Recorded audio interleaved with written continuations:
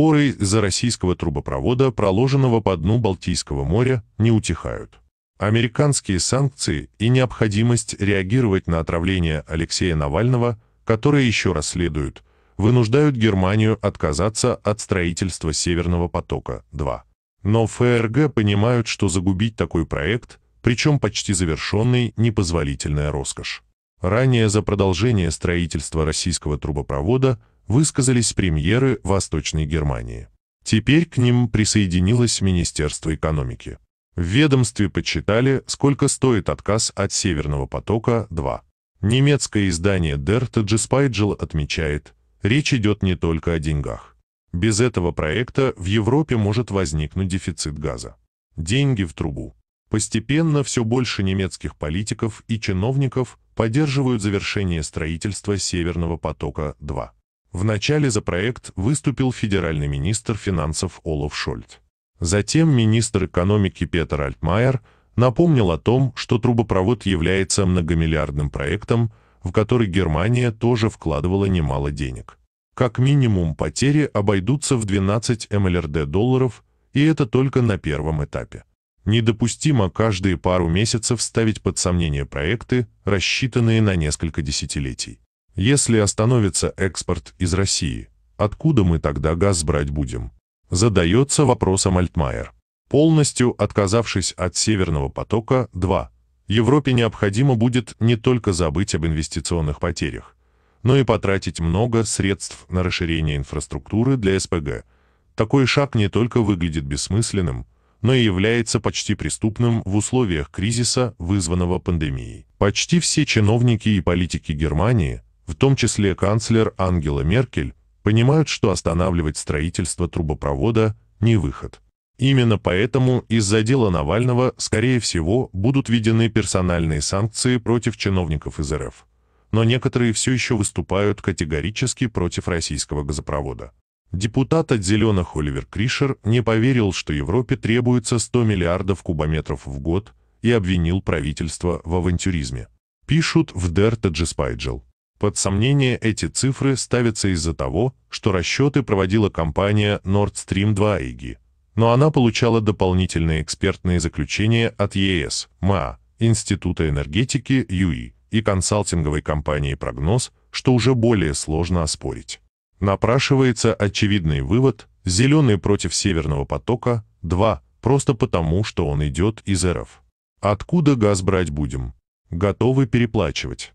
Задаются вопросом эксперты энергетического рынка, указывая на, что американский СПГ обойдется примерно на 40% дороже.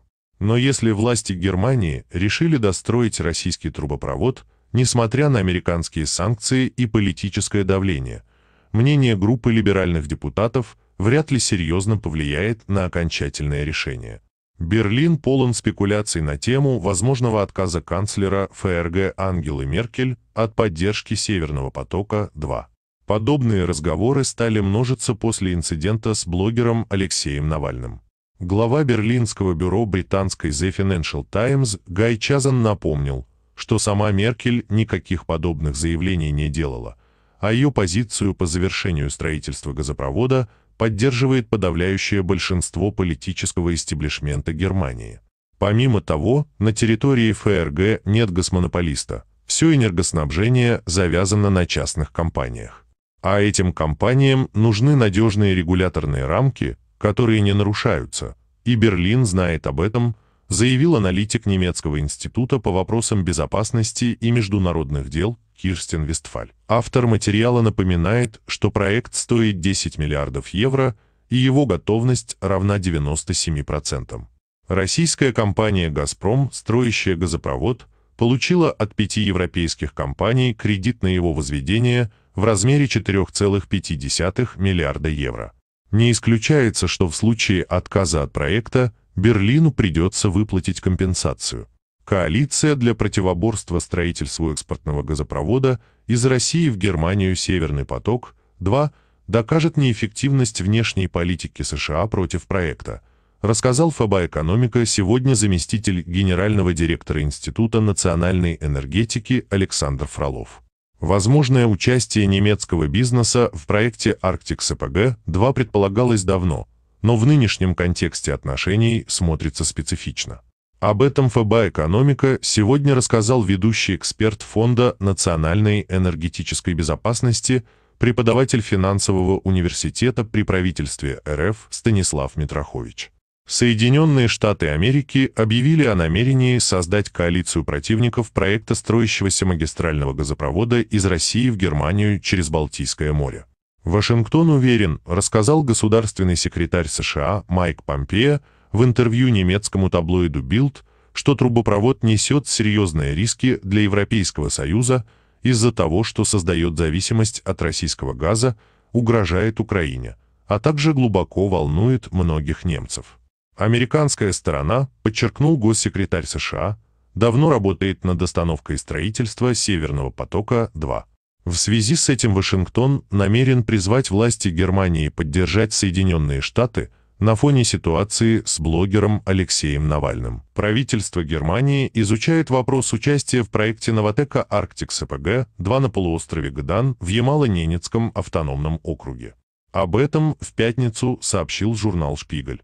Издание указывает, компания Ойла Гермес может инвестировать в строительство объектов инфраструктуры проекта 300 миллионов евро, а химическая компания Линд зайдет с технологиями сжижения газа. Но если верить источникам Шпигель, решение еще не принято.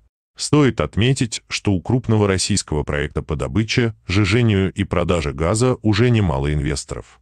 Так, участие в реализации проекта принимают французская Total, китайские концерны КНУК и КМПК, а также консорциум японских компаний Mitsui и JAGMEC.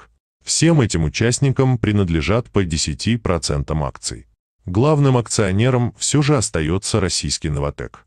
Действительно, на первый взгляд зарубежных партнеров у российской компании в проекте более чем достаточно, отмечает Митрохович. Но здесь приходится вспомнить о главной проблеме. У России нет технологии крупнотоннажного жижения природного газа, нам приходится использовать наработки той же немецкой Линд. И ее участие в проекте давно не секрет для экспертов отрасли, сюрпризом такие заявления становятся только для обывателей.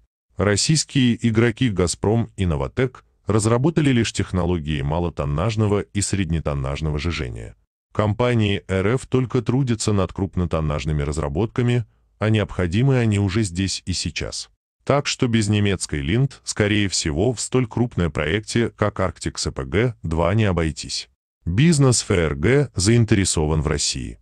Арктик СПГ-2, второй СПГ проект Новотека. Суммарная мощность трех технологических линий завода составит 19,8 миллиона тонн жиженного природного газа в год. Запуск первой линии планируется в 2023 году, второй и третьей линии в 2024 и 2026 годах соответственно.